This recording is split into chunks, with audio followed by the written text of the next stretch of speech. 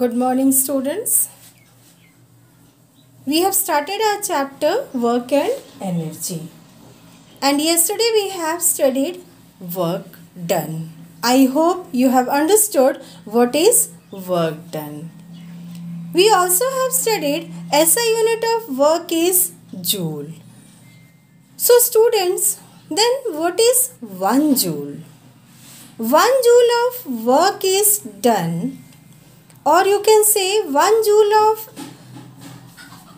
is the amount of work done when 1 newton of force is applied on the object and displaces it 1 meter in the direction of applied force.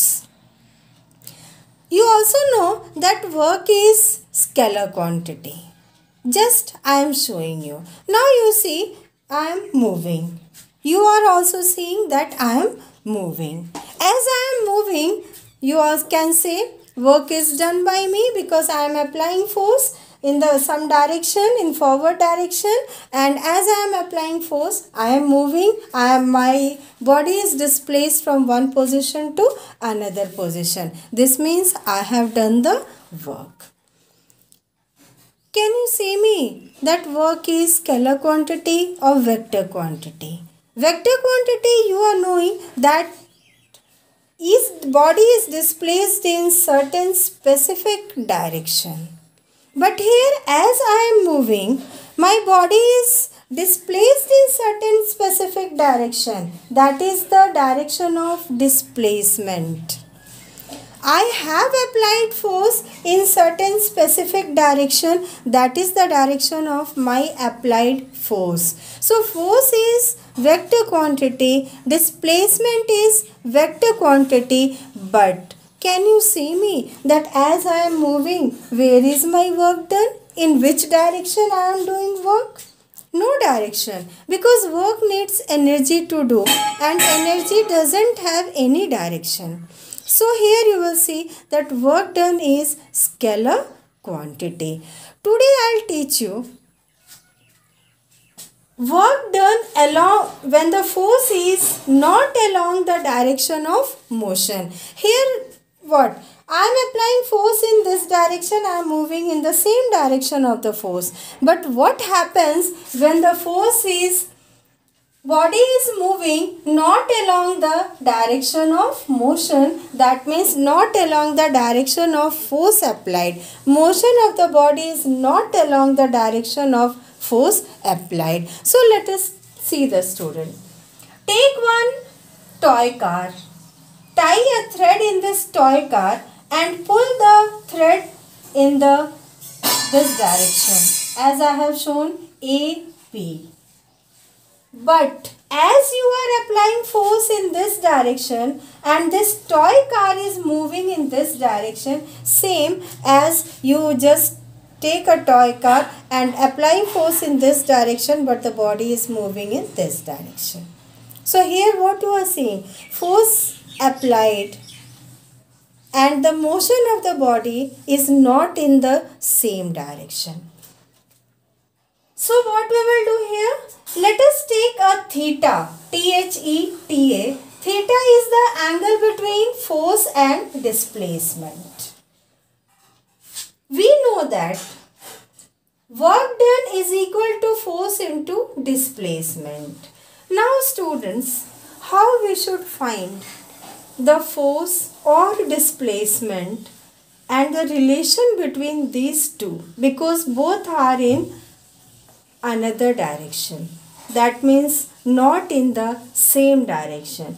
So here we are going to find the vertical component or horizontal component of force. Relate the force with horizontal component or relate the displacement with vertical component then only you will find that the body is, will move along the direction of the force. So for relating this means we have to find out the relation of force and displacement. For this relation I have just dropped the component of force on the horizontal direction of displacement. So drop one perpendicular on AB. As we have dropped the perpendicular on AB, you see that angle B, this point is B, B is 90 degree. Now you see what is the work done? Work Force. What we have done force? We have found the force in terms of horizontal component that is x-axis. So component of force in direction of displacement into displacement. So here you will see from right angle triangle ABP. ABP. Cos theta is equal to base in by hypotenuse. Base has become AB and hypotenuse is AP because this is the 90 degree and opposite of this angle we are saying that is hypotenuse. So AB by AP. AB by AP. This you have got it. So AB is equal to, we can write AP into cos theta. So AB is equal to AP cos theta. AP is F because this AP is displaced or you can say we have found the relation with horizontal x-axis. So F cos theta. You know work done is equal to F into S but F we have found F cos theta. So I have written F cos theta into S.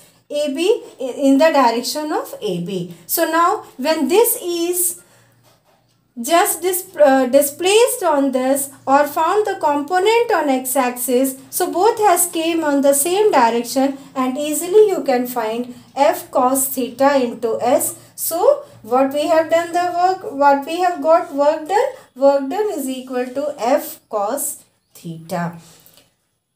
This cos theta is in trigonometry and when you will go in standard 10 you will study the trigonometry but only in standard 9 you remember the formula that cos theta is equal to base by hypotenuse and we have got it. So here I, have, I am showing you what happens if we change the value of theta.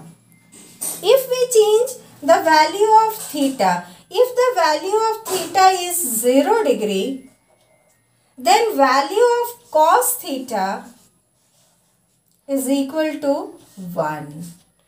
If theta is 90 degree, value of cos theta is equal to 0. And if theta is 180 degree, the value of cos theta is equal to minus 1. So up to this you will do rest we will do in next class.